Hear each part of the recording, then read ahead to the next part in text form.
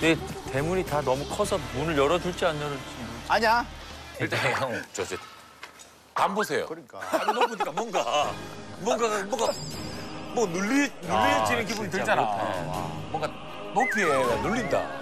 여기도 약간 지금 빈집 아니야 여기 빈집이고 여기 내가 아는 거남 회장님 집이야.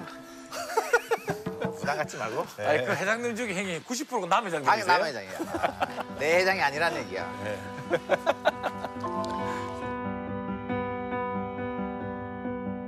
딱이 길이 그 기생식이 나오는 그집 어, 올라가는 길을 어, 그죠? 저기 우, 저기 우식이 처음에 걸, 걸어가는 그 길이네. 어, 그 느낌 비슷하다. 아, 그러네 그러네. 네, 그길 비슷하네요. 어 맞네 맞네. 아, 최우식 배우도 이번 연기 너무 잘했어. 아, 너무 네, 잘했어요. 맞아요.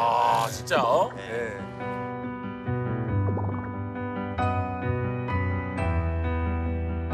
와 여기는 한옥 한옥으로 지은 멋지죠, 단어으로도 멋지지. 와, 진짜 멋지다. 벽도 벽도 와 돌담으로.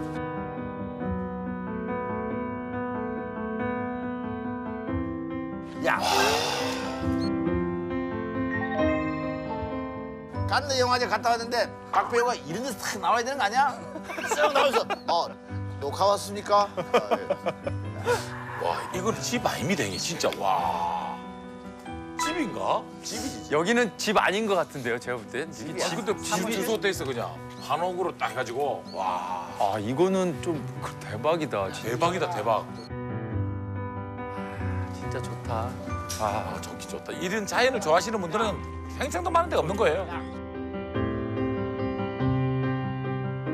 성벽처럼 늘어선 높은 담의 집들은 평창동만의 프라이빗한 분위기를 보여준다. 아, 이제 담들이 진짜 다 높, 높은 것 같아. 일반 집이 아니고 거의 30m 되겠는데요. 그 이 정도면 지하실 있겠는데, 형님. 여기를 아무래도 그 기생충만큼의 지하실은 없어. 약간 뭐 골프백 갖다 놓는 아 근데 오늘 들어갔다가 진짜 지하실이 있으면 어떡하죠?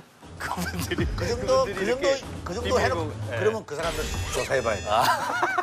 집에 벙커를 그 정도 해놨으면 뭔가 있는 거지.